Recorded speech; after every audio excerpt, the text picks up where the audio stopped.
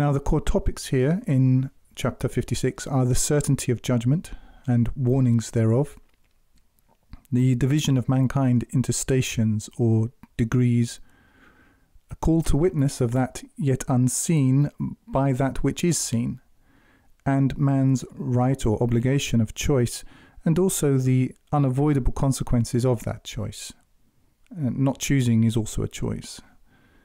So I shall go through the chapter and stop off and make comments as I go. In the name of God, the Almighty, the Merciful, when the inevitable befalls, and this is right, it is inevitable. Whether we like it or we don't like it, death is inevitable and judgment is inevitable according to the Quran. And this is a consistent motif throughout the Quran. Uh, it calls us at all times to beware of the day of judgment.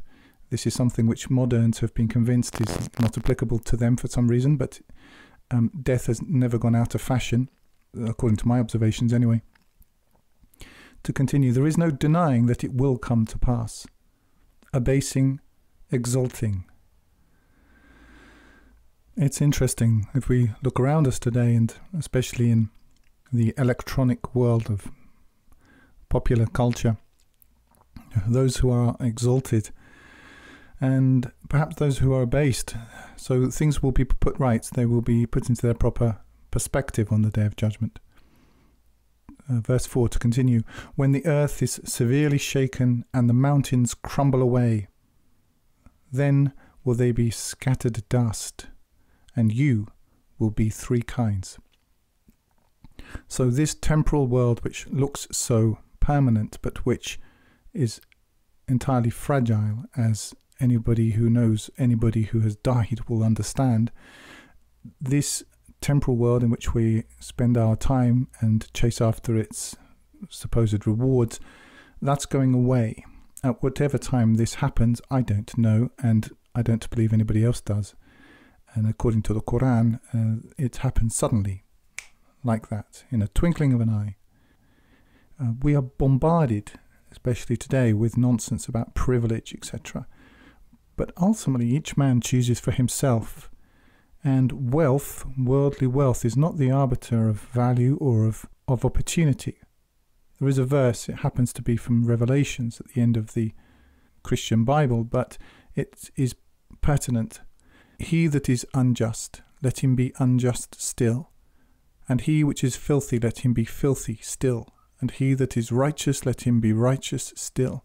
And he that is holy, let him be holy still. That's Revelations 22:11. This pertains to any time. If we look in the Quran, it says, Do you think you're going to enter the garden just by saying we believe? No, this is not the case. We do undergo hardships, hunger, loss, loss of fruits, loss of money, lots of loss of lives. This is the reality. However, we have the promise of of Jannah, of the garden. And men need to make a decision where they stand vis a vis God's promises. Now, according to the Quran, there are three kinds. The companions of the right hand, this is verse 8. What of the companions of the right hand? And the companions of the left hand? What of the companions of the left hand? And the vanguard? This is verse 10. And now we have an exposition on the vanguard and what they may expect. The vanguard, those brought near. Now that's verse 11. Now that's a very interesting term, Quranically. In, in Arabic, it's mukarrabun, and mukarrabun, it relates to, in Quranic parlance, those who are allowed into the inner circle of a sovereign ruler. This isn't a democracy, it's not a, um, a popularity contest, it's not open to everybody it's open to those who put the efforts in. And what we're told, those brought near in the gardens of bliss, a multitude of the former peoples and a few of the latter. So, as an aside, I don't know when the end will be, but I do know that we're closer to it now than was the world at the time of the revelation of the Quran. clearly radical, in inverted commas, or uncompromising righteousness is on the decline. I don't think I'm going to shock anybody by telling you that. And we are living, more generally speaking, in a time of enhanced degradation and perversity. Whereas before, in previous centuries, there was a greater number of uncompromisingly righteous people within the society. And clearly, that's not the case today. The general tendency is away from righteousness and purity and any form of objective virtue. As we see also in our modern society, it is being steered away from any sort of uh, appreciation of virtue and righteousness. And my personal understanding is, is that as we go forward, if this society continues in the way that it is, true believers, and I'm not talking here about quote unquote Muslims, I'm talking about true believers, people who, for whom God, God's standards, God's revealed laws are important, more important than a cushy life. Those people are going to be increasingly marginalized, and we're going to see something again of the type of sacrifices which have been made by former peoples. However, the amount of people who will do this, I infer, I infer from the Quran, is not going to be very great. It's always been my understanding that I have been really addressing myself to the few, and I understand that. So, a few of the latter, this is according to the Quran. I'm not making any mm, predictions or prognostications about time because this would be a silly occupation. However, I'm looking at tendencies.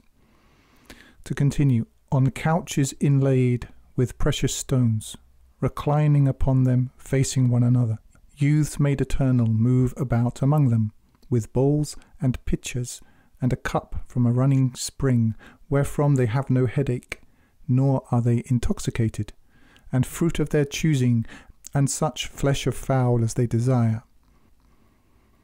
So, of course, this is a, a figurative passage, and there isn't an awful lot that I can say about it because it is figurative. We are told that there is a difference between the figurative and the literal. If we look, for example, at uh, 3 7, we should understand that there is muhkamat and there's mutashabihat. And this is mutashabihat. There's no question about it. This is a figurative semblance. And for me to try to infer specifics on this basis would be really pointless. So I'm not going to do that to continue, and pure, lustrous eyed maidens, as it were pearls closely guarded, as reward for what they did. Now, I emphasize the word what they did. There seems to be, and this is a, a, quite a prevalent tendency, and the inability to distinguish between opinions and deeds. Faith without works is dead being alone, to cite the Bible. It's completely correct. So it's what we did. And I exhort anyone listening to this to be clear in your mind about the difference between what you think, you know, your opinion, what you like, what you click on, and what you do. Because I don't see anywhere in the book of God that we're going to get any reward for the opinions that we had and the opinions of others that we liked. It's, I'm not telling you what to do. I'm telling you how I operate my life I want a high reward. And I uh, advise everybody who wishes to make the best investment of their life to go for the best reward. But it is to do with deeds, there's no question about it. So, as they say in Yorkshire, think on, lad. Now, the pure, lustrous eyed maidens, on a pantextual basis, this interpretation it stands up despite what some may think so the traditionalist is correct, but not for the reasons that he gives. And if you wish to read a detailed and nuanced analysis of this very point, then I will put a link or provide a link in the drop down below. So we are rewarded by what God knows that we want. What the realities are behind these um, promises, I'm not even going to speculate on particularly because I don't think that it's really my place. I know that God is the best of providers and He is the best of hosts and I can relate to the things that I read here and correlate them with what I already know. And on the basis of what I've seen so far, I'm prepared to trust God for the for, for what He's got planned. To continue, verse 25. They hear therein neither vain speech nor falsity. Now, I'm going to stop here for a second. For me personally, uh, this is one of the greatest promises of the garden. I think that anybody with any sort of spiritual sensitivity is in a constant battle against lies, fundamentally. And lying has become de rigueur now, uh, very much so. I'm not saying that people didn't lie formerly, of course they did, but it's now become almost the default position of so many people that you now tend to have to assume it, which wasn't so much the case before.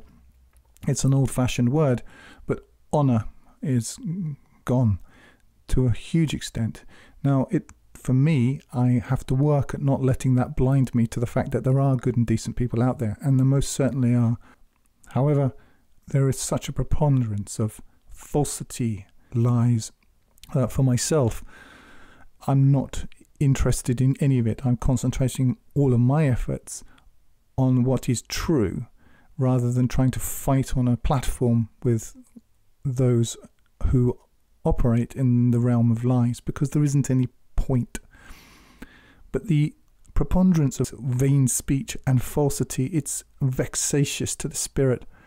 And for me personally, when I get up early in the morning and listen, just listen to a, a robin singing outside the window, it's a peace and a joy that it's hard to equal in the rest of the day with the cacophony of vanity which we have around us and which has become really the currency of communication now, especially where so many people are veiled from any real communication uh, because they're doing it all online. For myself, my interest is in forming a community of a real community. I don't want to spend the rest of my life doing this. I'm putting these things online, and when I've finished a certain amount of work, I'm going to move on to the next thing, God willing. But to go back to this verse, the vain speech and falsity, or the lack thereof in the garden, is something which I personally hold out great hope for and look forward to. To continue, only the saying, peace, peace.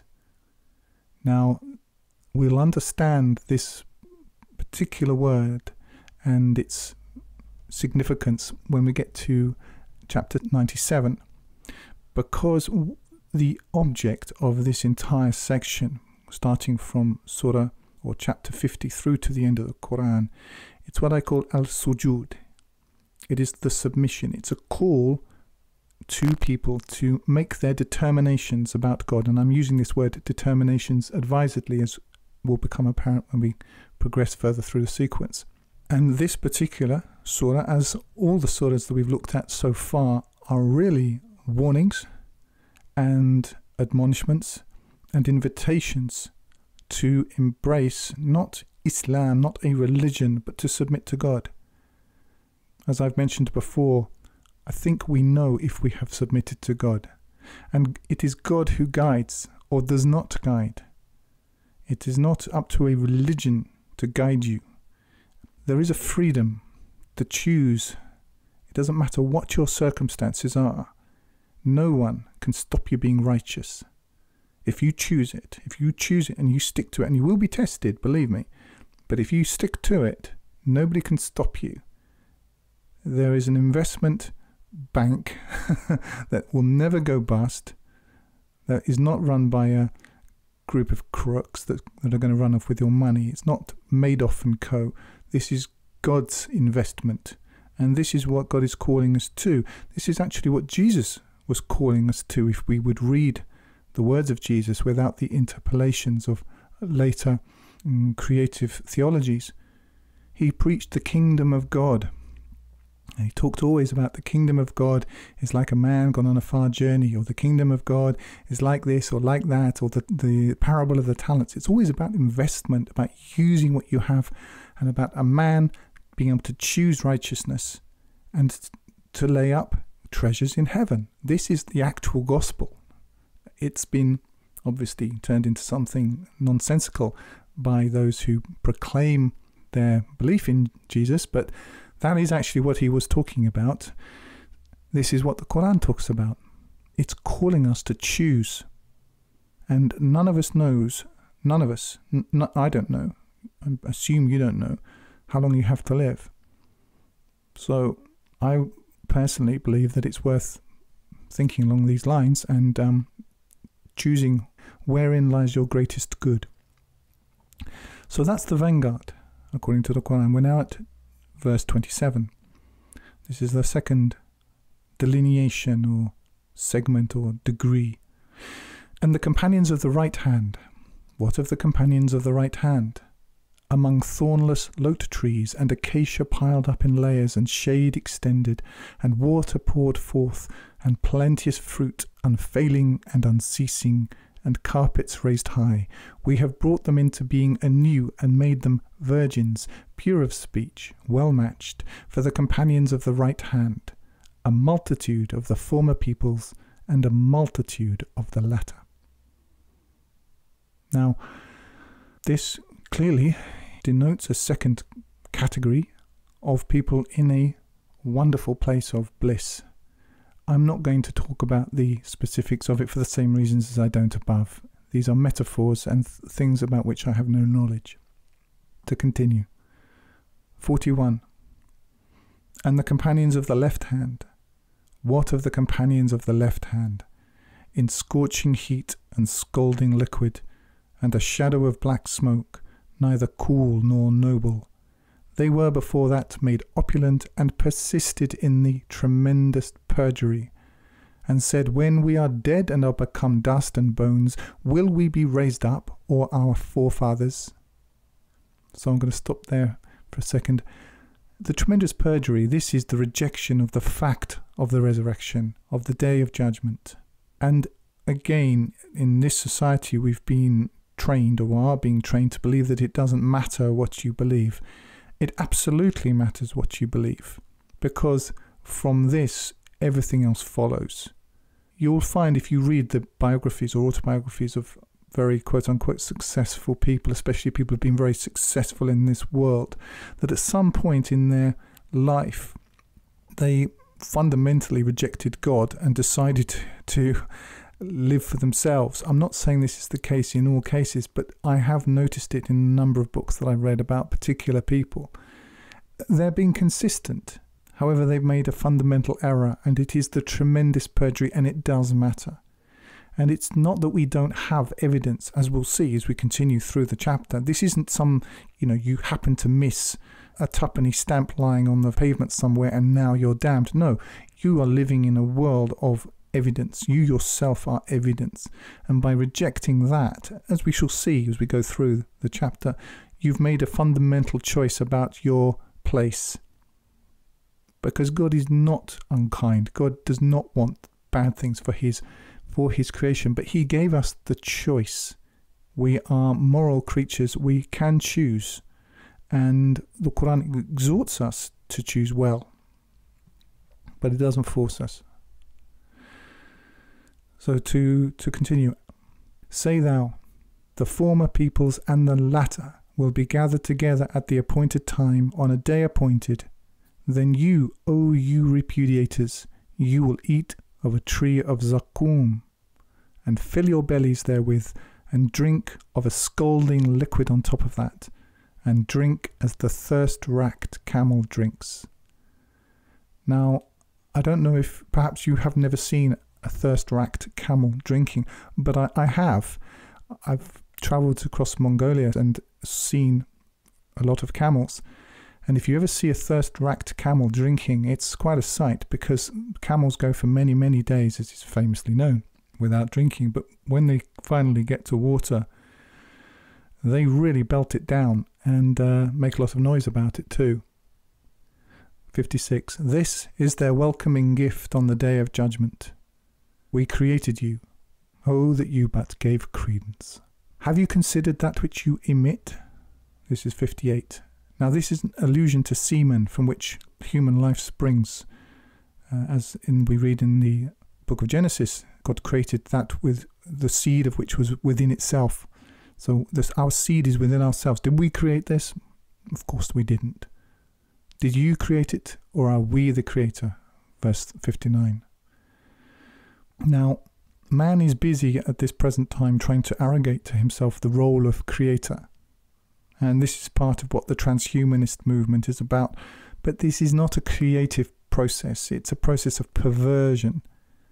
As we have with GMO food, man doesn't create anything, he simply twists and perverts that which God already made. At 2273, we read that man could not even create a fly.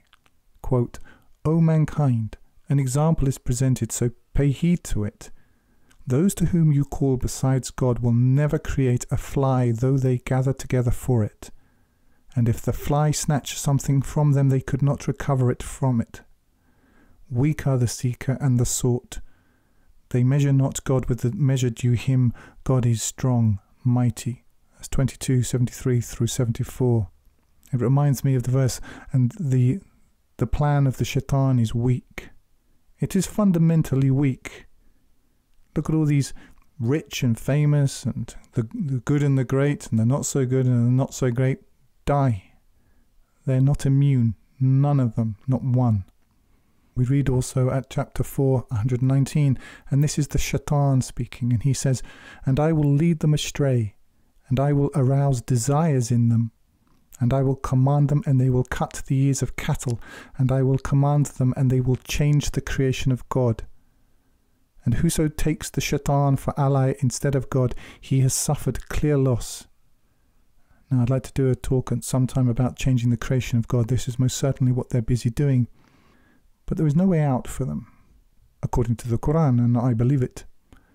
59. Did you create it, or are we the creator? 60. We have decreed death between you, and we will not be outrun from changing your likenesses and creating you as what you know not. Now, another aside Satan's attempts to corrupt man are a vain and evil parody of the true change which is due men at the end of time. 62. And you have known the former creation. So, yes, we have. And this is the evidence. This is the great evidence. Do you deny your own creation and that of everything around you? This is why we're culpable. We are able to look at this and to draw, to extrapolate conclusions. Oh, that you but took heed. Have you considered that which you cultivate? Is it you who cause it to grow, or are we the cause of growth? If we willed, we could make it chaff then would you cease not to regret. We are debt laden, nay, we are deprived. So, this is God citing the evidence that we daily encounter. We eat food, all of us.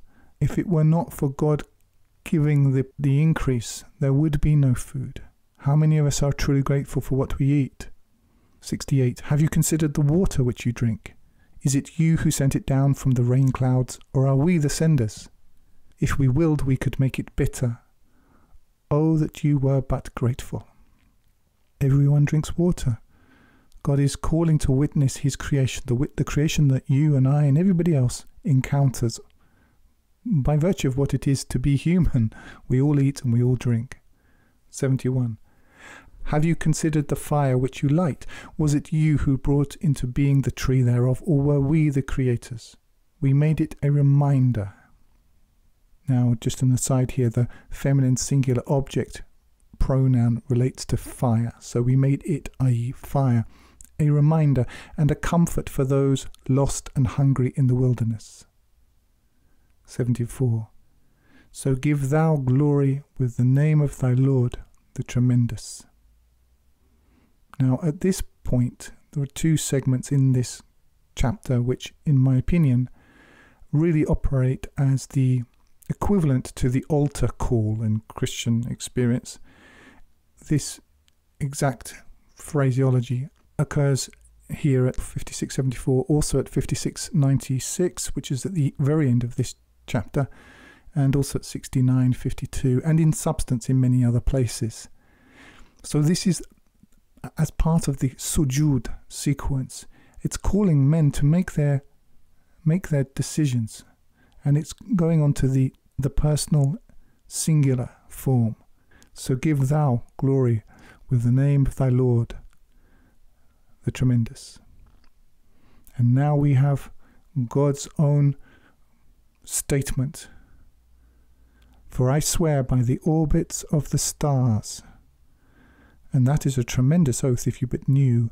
It is a noble recitation, in a decree closely guarded. None touches it save those purified. A successive revelation from the Lord of all mankind. Now, just a quick aside about those purified, gross men lost in sin are unable to comprehend the Quran. And it's not about washing a particular amount of times, but it's when you are purified in your soul, when you when you are inclining toward the truth, then you are able to understand it. And it's nothing to do particularly with language. I've had Arabs tell me they simply don't understand the Quran. They native Arabs they don't understand the Quran. And that's Quranic. Because we're told that unless God guides, you're not guided. And either he expands your understanding to it or he doesn't. To continue, 81. Is it this narration you take lightly and make rejection thereof your livelihood? Now, in the case of the professional traditionalist mm, religionist, the answer here, frankly, regrettably, is in the affirmative because that is how he makes his money, um, is by denying, rejecting what God has sent. However, there's a broader sense in which this is true as well. When people reject this, what do they have left? They've got making money, they've got creating some sort of prestige for themselves or chasing after it in this world. Well, the Quran calls us to make a wise decision. And we read as we continue at 83 Oh, that when it reaches the throat, ellipsis, you did not look on. To continue, but you will at that time look on. And we were nearer to it than you, but you saw not. So, what this is saying is, but when it, i.e., the soul, it's uh, feminine here, nafs, when it reaches the throat, when your soul begins to leave and it reaches the throat, if you could do something about it, but you can't, it again, it's citing the fact of death. I'm not being depressing here, I'm just talking about reality. And we were nearer to it than you, 85, but you saw not. Now, this calls to my mind, for example, verses, for example, like where God says that He is closer to man than the jugular vein. All things are written down. God is closer to you than you are to yourself. But you saw not. 86. Oh, that if you be without obligation, you but sent it back if you be truthful. So that this is the challenge. You stop yourself being subject to death if you're correct. But that is not a correct assumption. 88. Then, if he be of those brought near, so what we're entering now is the conclusion of the whole matter, as it were. If he be of those brought near, gladness and sweet smelling herbs and a garden of bliss. So that's the first segment, the first delineation, the first degree, based on how you choose.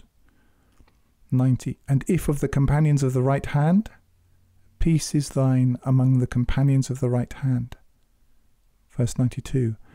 And if of the erring repudiators, a welcoming gift of scalding liquid and burning in hell. So that's what we've been through is now being summarized. And then the chapter concludes, verse 95 This is the truth of certainty. 96 So give thou glory with the name of thy Lord, the tremendous. Again, this particular motif repeats as we saw earlier at 5674. So give thou glory with the name of thy Lord, the tremendous. It's calling you to turn to God, to give glory to God, to give due recognition to God, to understand that you will give account on the day of judgment, and to choose where you want to be in eternity. I encourage you to choose well.